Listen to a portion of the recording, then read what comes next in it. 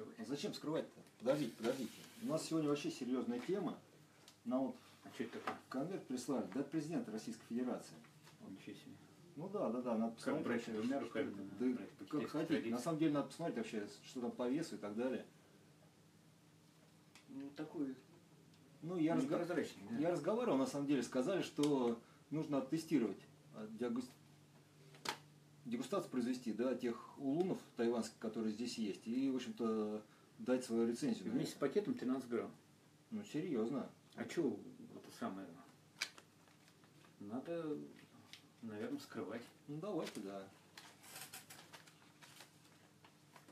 Посмотрим. Смотрите, видите, такая тема, сейчас мы вынем. В очередной раз присылают, Ну что, грех не попробовать. Тем просят, более чай исторически в Китае всегда использовался для подношений на государственном уровне. ну да, да. Символ уважения. Ну что, вот так вот как-то это. Вот, Да. Три грамма. 3 грамма. Ну, Попробуем попробуем. по форме. Скрутка красивая. Так это вот практически такой же, как у нас. Наш чай, да? Ну да.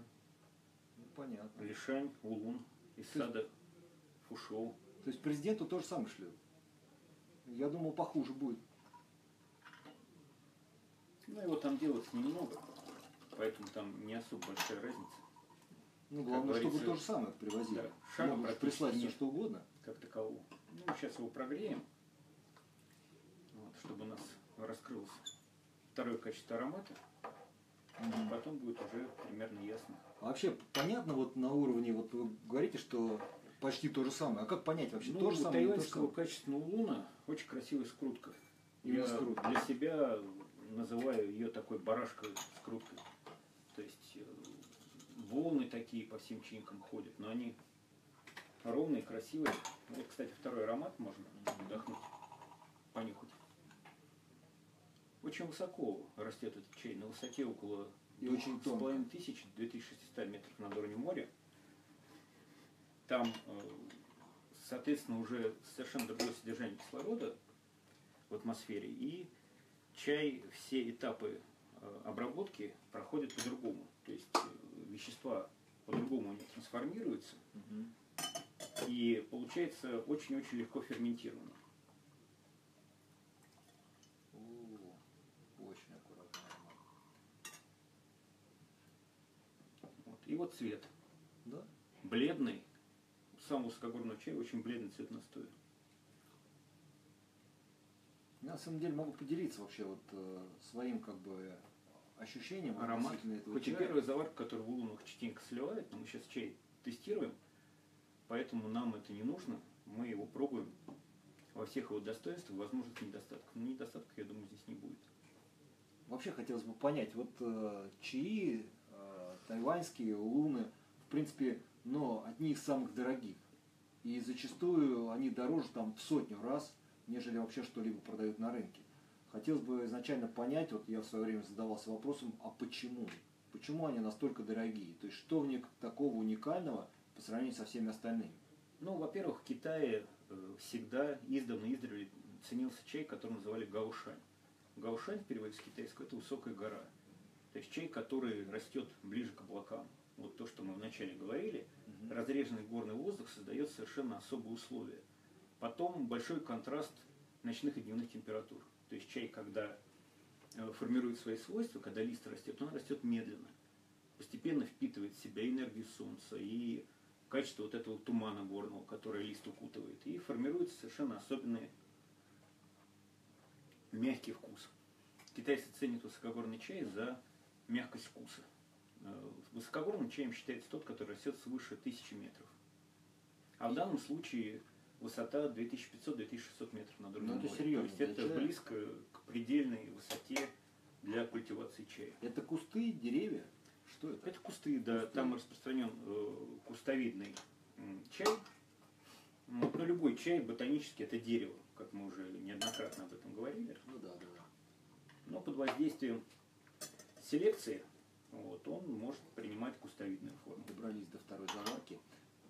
А можно по пакетики. Я просто отправлю обратно президенту Российской Федерации наш чаек, чтобы они тоже попили. Вот чай понасыщеннее становится, Да, но интересно. тем не менее сохраняет яркость цвета. Ох, а здесь уже совсем другое. Ну вот его справедливо сравнивать с ароматом любых цветов. В Китае есть сравнение аромата хорошего чая с ароматом орхидеи. Это и символ весны, и символ утонченности. Поэтому вот когда вдыхаешь аромат хорошего чая, как вот этого лишания луна, луна с, ру- с грушевой горы, ощущаешь аромат чудесной волшебной орхидеи. Все очень аккуратно, все очень нежно, ровное ощущение вообще по всем показателям. Я в свое время, когда пробовал его, то есть вот самое ценное, что мне понравилось, это ровное состояние. Комфортно, хорошо, все работает великолепно, и вот это вот э, внутреннее состояние, как бы, э, не знаю, аккуратности, подвижности, ощущение целостности, оно, конечно, очень ценное и очень радует. Ну и, соответственно, дальше уже и внешний вид, и цвет, все вот э, на уровне, наверное, совершенства, так вот можно. Интересно смотреть, рассматривать, ощущать. Да, и обратите внимание на вкус. Вот свойство именно мягкости вкуса, некой неуловимости, он вроде бы и есть, вроде бы его и нет. То есть больше ощущений, больше качеств чайной энергии послевкусие передается. И чай очень легко глотается. То Да, есть вообще вот. никаких ощущений дискомфортных при глотке чая мы не ощущаем. То есть он словно вливается в нас и идет вдыхание. Э, Мы дышим этим чаем. Это- Это у китайцев называется хуйгань. Особенный такой сладкий выдох. Это эффект э, очень качественных, классных улунов, когда они наполняют своим ароматом и вкусом ну, само дыхание. Кажется, что каждая клеточка организма наполняется этим чаем. Ну да, редко такое ощущение, и многие приходят, пробуют и говорят, это что-то потрясающее, потому что до этого, что мы пробовали, ну, близко в сравнении никакой не идет с этим чаем. И очень ограниченный по площади плантации, то есть там урожай несколько сотен килограммов в течение То года есть это практически эксклюзив. на весь мир, да. То есть чайный сорт совершенно особенный. И чай выдерживает большое количество завариваний. То есть можно заваривать очень долго. Это не самое главное в чае, но это как бы попутная, приятная такая тема, что когда ты пьешь высокий чай, он заваривается очень долго. И с каждой новой заваркой раскрывается новое качество вкуса, новое качество аромата. Ну, с чем бы ты сравнил, например, этот запах? Ну, отчасти есть роза. Для меня вот такие какие-то, знаешь, чудесные горные цветы, даже не хочется их, как говорится, привязывать к какому-то отдельному цветку. И э, аромат самого горного воздуха, самой горной природы. Словно вот ты находишься в этих местах и дышишь этим горным воздухом. У меня вот э, сложилось такое ощущение, что что-то тонкое, неуловимое, загадочное, ну и там, запредельно приятное.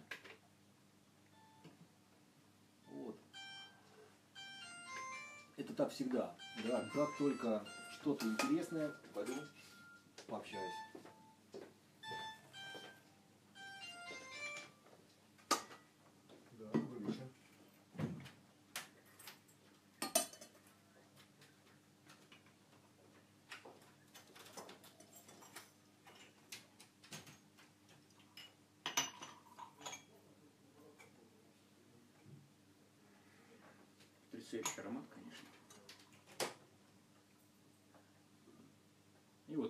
Настоя.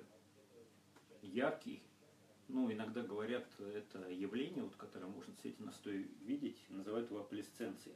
То есть это свечение в лучах а, солнечного или электрического света. То есть ощущение такое, что внутри чая включили лампочку.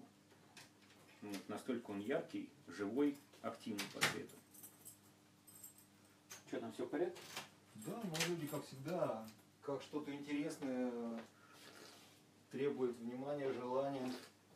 Это нормально. Вот еще хороший чай, как говорят в Китае. В Китае го- гонит легкий пот. То есть э, охлаждение охлаждающее действие. Вот сейчас у нас довольно жарко в офисе, и есть вот эффект такой освежения, охлаждения. А у меня э, часто, э, ну, может быть, моя особенность, конечно, как бы, как будто ветерок э, с лица омывает, вот, как бы с фронта, а спина такая, да, немножечко утепленная, ну, такого формата. И очень приятное состояние, на самом деле. Ну и чайные листья потихонечку раскрываются, но чай не теряет своих качеств, своей силы. Кстати говоря, может быть, показать просто, как это выглядит э, в момент, когда начинает раскрываться. Да, можно Листы. сказать. А Я думаю, будет интересно просто. Откроем. Вот такая вот интересная листва. Красивая. Мы еще покажем, конечно, в самом Да, конце. Его можно даже не бояться подержать, просто как бы нет в этом особого смысла. Но сейчас, когда мы чай тестируем, можно дать ему настояться и еще раз подтвердить его высокое качество, потому что высокие сорта при настаивании совершенно не огрубляются ни по цвету, ни по вкусу, ни по аромату. Просто важно э, соблюдать динамику определенную, о чем мы всегда говорим. То есть каждую следующую заварку удержать дольше, чем предыдущую. А чем улуны тайваньские отличаются там от китайских? Вот в чем их э, Они отличаются высокогорностью произрастания, во-первых. То есть на материке есть тоже чаи, которые растут высоко, но не слишком выше, чем тысячи метров. Мгм. На Тайване 2 километра это, в принципе, высоко, но нормально для А Что чая. это дает? Есть, Это дает, ну, как бы мы уже говорили, дает э, во вкусе чая особую мягкость, Да. дает в самой технологии некие особенности преобразования веществ, которые в условиях горного климата идут совершенно определенным образом, дает яркий цвет настоя, дает особенное ощущение, которое китайцы называют гаушанча. А Ощущение, мелодия, характер высокогорного чая. То есть чай, который растет над уровнем облаков, а иногда и выше этих облаков. то есть та вот, э, с одной стороны, сильная, с другой стороны, ровная энергия, это как раз, наверное, э, вот оттуда, да? Да, потом еще, если говорить о достоинствах тайваньского чая, э, они очень э, внимательно делаются. То есть это всегда то, что у них называют шоугун или шоуи, то есть ручная работа или улун искусных рук, его еще по-другому называют. То есть все процедуры приготовления делаются медленно, плавно, постепенно, э, скручивают его очень деликатно, и сам развар и спитой чайный лист очень красивый у тайваньских улунов. Да, в принципе, и вот изначальный лист. И изначально, красивый, да, У него очень произведение искусства в, каждой, в каждом э, листочке. Это стоит посмотреть, на самом деле, рассмотреть. Оно того стоит.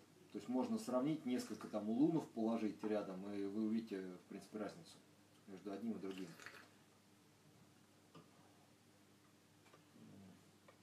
Ну, как бы не весь э, на Тайване чай одного уровня. Мгм. Есть чаи, которые собираются э, машинами. На Тайване вообще большое влияние оказывал всегда Япония. Это и плюс был, и Так. некоторые, условно назовем, минус э, чайной культуры, чайной традиции. А минус, опять же, это некая механизация труда в простых Мгм. э, сортах. Чая, то, что сплошь и рядом используется в японской современной чайной традиции. А плюс это уважительное отношение к культуре чая вообще, э, к культуре подачи чая, в частности, именно на Тайване выкристаллилось, вы- выкристаллилось вот это вот э, гунфуча. То есть особая форма э, чайной церемонии, когда отдельно воспринимается аромат, отдельно вкус чая. Специальная двойная посуда, стаканчик для аромата и чашечка для вкуса чая. Понятно. А можно ли, правильно я понимаю, что можно сказать, э, что есть не очень качественные чаи с Тайванем, очень качественные, да, разные совершенно улуны. Да, то есть а как понять э, вот из них, есть что мы вообще пьем? Ну, изначально, если не беря в расчет там цену. Ну, здесь, опять же, нужен опыт развлечения чаев, нужно пробовать хорошие образцы, э, нужно сравнивать их с образцами иного качества, другого, чтобы формировать свой личный чайный вкус. Это крайне-крайне важно. Ну, э, какие-то подсказки общие, то есть визуально тайваньский чай обычно очень аккуратно, высокого качества, красиво скручен. То есть ровные, красивые, довольно плотные, тяжелые чаинки. Ну, это стоит один раз увидеть, в принципе, хороший чай, да, вот высококачественный. И, в принципе, э, дальше можно будет Потом мы пробуем аромат э, сухого чая, вдыхаем его, э, ну, стараемся обратить внимание на глубину аромата. То есть хороший чай, он имеет глубокий, не поверхностный аромат. То есть вот когда ты дышишь над сухим чаем, кажется, что все новые и новые грани открываются. То есть можно долго дышать и... Да, а Ну, у тоже. чая, допустим, который подвержен ароматизации на Тайване, такие чаи тоже делают, очень аромат поверхностный, ну, либо у недорогого чая. Он грубый, сильный, да, что... Грубо сильный, но он не имеет, опять же, глубины. Нет такого ощущения, когда ты дышишь чаем, что он тебя наполняет, что он идет э, в дыхание. Так. И э, с тайваньскими улунами еще можно назвать это тоже их проблемой, что их копируют э, на материке в Китае, хотя, естественно, такого вкуса получить невозможно, как на Тайване. Копируют там в Северной Таиланде, в Северном Вьетнаме. А зачем? С какой целью? А для того, чтобы за счет э, бренда, называния брендом копийного чая получить лишние деньги, потому что это модно, это стильно, то есть тайваньский чай это бренд, Мгм. это показатель определенного качества, и э, по всему миру продается огромное количество тайваньских чаев, и в большинстве своем они Ну, псевдо-тайваньские. понятно, да. То есть вопрос, что продается. Понятно. Поэтому нужно, конечно, ориентироваться на оригинальные, аутентичные образцы, чтобы получать всегда самое лучшее э, вкусоароматическое ощущение.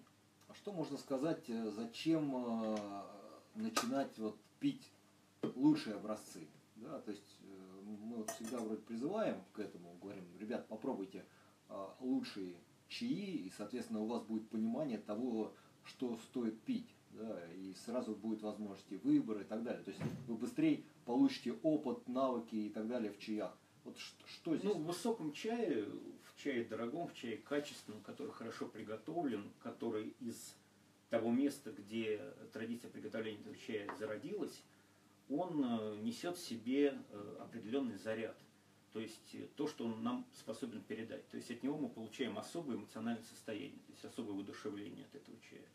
От него мы получаем особенную пользу для здоровья. Потому что он собран в то время, когда ну, максимально в листе концентрация веществ полезных Так. достигается. А это какое время? Вот когда ну, собирают для тайваньских чаев это обычно весна, для некоторых чаев, которые растут не столь высоко, как наши, это Мгм. зимний период времени.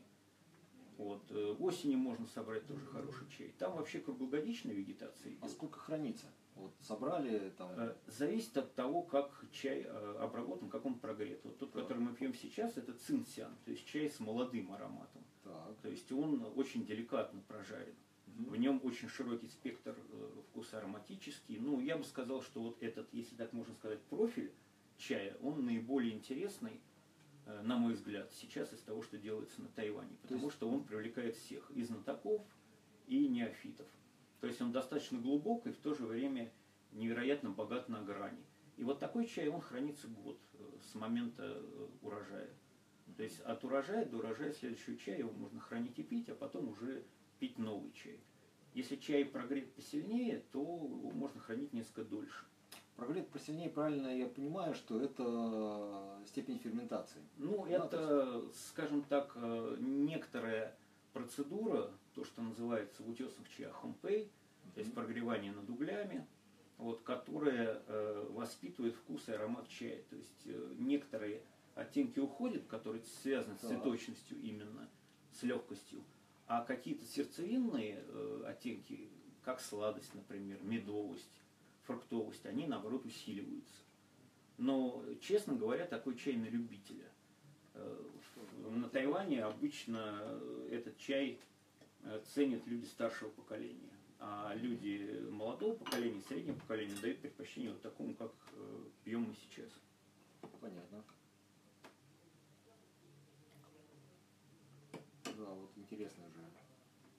И очень-очень яркий. Заварочка интересная. Да, красивая. Надеюсь, что будет видно цвет, красоту. Вкус, конечно, мы вам не передадим, но можем передать при условии того, что вы придете и, в принципе, продегустируете. Ну, некоторое количество чая еще осталось на пробу, так что Вполне. можно попробовать, в принципе, он этого стоит. Потому что, познакомясь э, с Лишань Луном, э, можно создать представление о самом лучшем уровне чая на настоящее время на острове Тайвань. Ну, в принципе, одним из лучших из улунов. Да. Ну, еще мы не сказали, как переводится. Иероглиф Ли, он переводится как груша, грушевая гора. Вот так вот. На Тайване высокогорные чаи растут э, рядышком с посадкой фруктовых деревьев. Одни из самых высокогорных фруктовых садов в мире там расположены. Яблочные, ну, вполне возможно, что и грушевые тоже. Яблоки там точно растут. Ясно. То есть это у нас э, гора и не плато, да, наверху? Ну, а вообще, какой-то вот есть наклон. в центральном Тайване горы Тайваньшань, тайваньские горы, и а, один из участков этого горного массива, почти центральной части Тайваня, в округе Наньтоу, называется Лишань. М, То есть как-то это группа возвышенностей, я- Мгм. но там есть несколько чайных садов, опять же. Вот Лишань, Улун – это довольно расплывчатое понятие, там есть Да. повыше классом, пониже.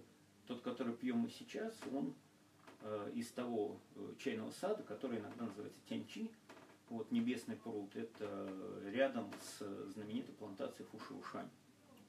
Я так и думал, что где-то это все. Вот можно, кстати, выловить листик чайный. Уже? Да, я пос- хотел посмотреть. Все? А мы попьем, мы достанем листочек и продолжим Ну пить. давайте попробуем.